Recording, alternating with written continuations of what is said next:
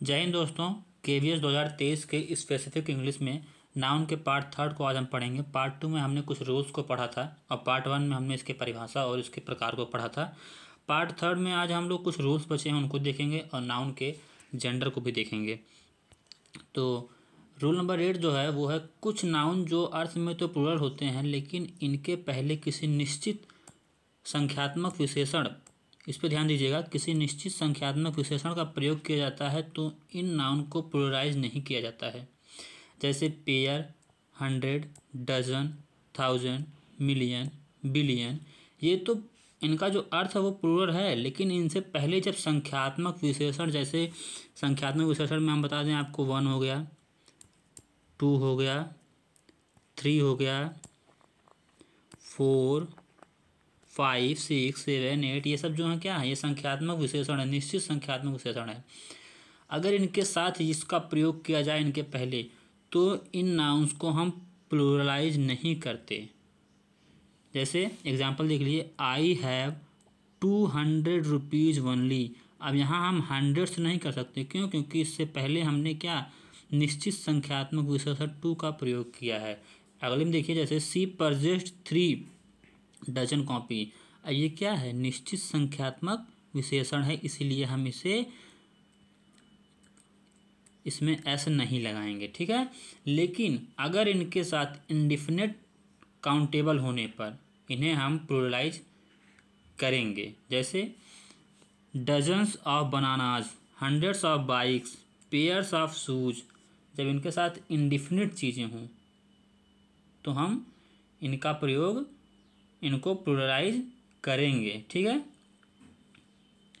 आगे देखते हैं जो नेक्स्ट रूल है इसका। रूल नंबर नाइन यदि किसी नाउन के बाद प्रिपोजिशन का प्रयोग हो और फिर वही नाउन रिपीट हो तो नाउन सिंगुलर फॉर्म में होना चाहिए, या न्यू नाउन सिंगुलर फॉर्म में ही होता है। जैसे डूर क्या है? आपका नाउन है, ठीक? और इसके बाद लगा है प्रिपोजिशन टू इसके बाद फिर डूर है। तो आप आप इसको ऐसे नहीं, ऐसे लिखेंगे तो ये गलत होगा। डूर्स टू डूर्स नहीं कर सकते। ये आपका गलत माना जाएगा, ठीक है? ये डूर टू डूर होगा। टाउन आफ्टर टाउन टाउन आपका नाउन है आफ्टर प्रपोजिशन है। इसके बाद फिर टाउन आया है तो ये क्या होगा? ये आपका सिंगुलर फॉर्म में होना चाहिए। ट्रेन आफ्टर ट्रेन ट्रेन भी नाउन है। ये प्रिपोजिशन है इसके बाद फिर नाउन आया है सेम नाउन आया है इसलिए ये आपका सिंगुलर फॉर्म में होना चाहिए। रूल नंबर टेन क्या कहता है? कॉमन जेंडर नाउन जो हैं, वो कौन कौन से होते हैं? जैसे teacher student child advocate worker writer leader musician servant cousin कल हम लोगों ने कजिन के बारे में पढ़ा था। कजिन के साथ ब्रदर या सिस्टर नहीं लगाते हैं। ब्रदर या सिस्टर नहीं लगाते हैं। ये हम लोगों ने कल पढ़ा था ना इसे गलत माना जाएगा, ठीक? इन्फेंट थीफ नेबर ये क्या है? ये कॉमन जेंडर में है, ठीक है?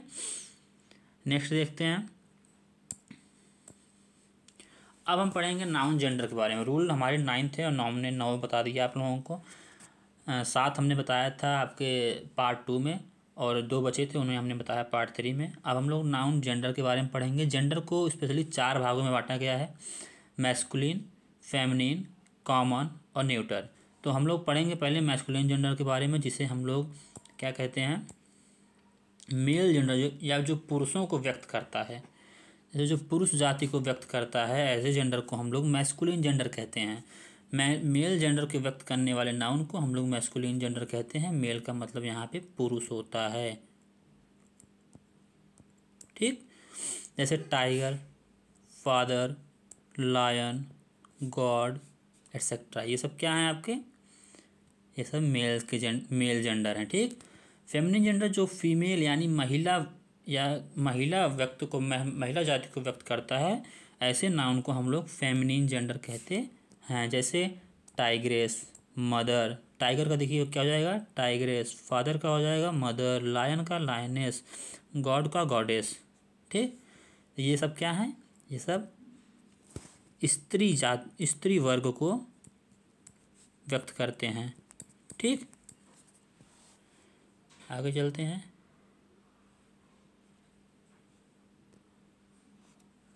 कॉमन जेंडर ऐसे नाउन जो स्त्री और पुरुष दोनों के लिए प्रयुक्त होते हैं, उन्हें हम कॉमन जेंडर कहते हैं। जैसे चाइल्ड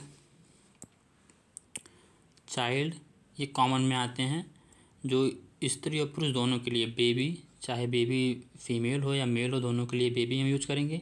टीचर चाहे आपकी टीचर मेल हो, चाहे आपकी टीचर फीमेल हो, आप दोनों के लिए टीचर का ही यूज़ करते हैं। तो इसलिए इसे हम कहते हैं कॉमन जेंडर न्यूट्रल जेंडर जो ऐसे कुछ निर्जीव वस्तुओं के लिए जो नाउन यूज़ होते हैं ना तो वो मेल होते हैं, ना ही फीमेल होते हैं, उनके लिए न्यूट्रल जेंडर का यूज़ हम करते हैं। जैसे आपके हो जाएगा copy book room paper box ये सब क्या हैं? ये सब आपके न्यूट्रल जेंडर हैं और ये हैं आपके कॉमन जेंडर, जिसमें आएगा चाइल्ड, बेबी, टीचर, सर्वेंट। अभी हमने पीछे आपको बताया है, जैसे अभी यहाँ देख लीजिए। हमने यहाँ ज़्यादा एग्ज़ाम्पल दिए थे। ये देखिए। Worker, writer. वर्कर चाहे मेल और फीमेल, आप उसको वर्कर ही बोलेंगे, राइटर, लेखक चाहे कोई भी हो, मेल या फीमेल, आप उसको लेखक ही बोलेंगे, नेता। लीडर आप मेल या फीमेल दोनों के लिए यूज़ करते हैं, म्यूजिशियन आप मेल या फीमेल दोनों के लिए यूज़ करते हैं तो कॉमन जेंडर की ये सारे एग्ज़ाम्पल आपके सामने हैं, ठीक है? अब हम लोग पढ़ेंगे some important masculine and feminine gender जिन्हें ऐसे बिना किसी रूल के चेंज कर दिया जाता है, जैसे हीरो का हीरोइन कर दिया जाता है टेस्टेटर का टेस्टे टेस्ट्रिक्स कर दिया जाता है बैचलर का मेड कर दिया जाता है बॉय का गर्ल बॉय का गर्ल कॉक का हैन ये तो सिंपल है, ये सब आप जानते होंगे। ड्रैक का डक कर दिया जाता है। ड्रैक आपका क्या है ये? ये मैस्कुलिन है। यहाँ वाले देखिए, सब मैस्कुलिन हैं। यहाँ वाले सब मैस्कुलिन है और ये फेमिनिन है। ठीक? और यहाँ भी ये मैस्कुलिन है और ये फेमिनिन है। ठीक? तो ब्राइड ग्रूम दूल्हे को कहते हैं, ब्राइड हम दुल्हन को कहते हैं, gentleman, lady, he, she, husband, wife, lord, lady, nephew niece sir, मैं, madam, wizard, witch, brother, sister, dog, bitch. अब देखिए, कुछ लोग यूज़ करते हैं जो बीच को पाले मतलब कि पेट बनाए होते हैं, लेकिन हम उसे रिस्पेक्टफुली हम जनरल भाषा में उसे फीमेल डॉग कहते हैं। पर आप इंग्लिश में इसे बीच ही जानेंगे, ठीक है? फीमेल डॉग भी उसे बोलते हैं। जनरल भाषा में आप, हम बोलते हैं जब हमें, जब हम कोई पेट पालते हैं, वो बिच होता है तो हम उसे फीमेल डॉग कहते हैं, ठीक है? तो ये सब आप लोग लिख लीजिएगा और याद कर लीजिएगा। दो तीन दो तीन बार पढ़ लेंगे तो आपको ये याद हो जाएगा, ठीक है? चलिए आगे बढ़ते हैं। अब यहाँ पे कुछ रूल्स हैं जो मैस्कुलिन नाउन को फेमिनिन नाउन में चेंज करने के लिए होते हैं।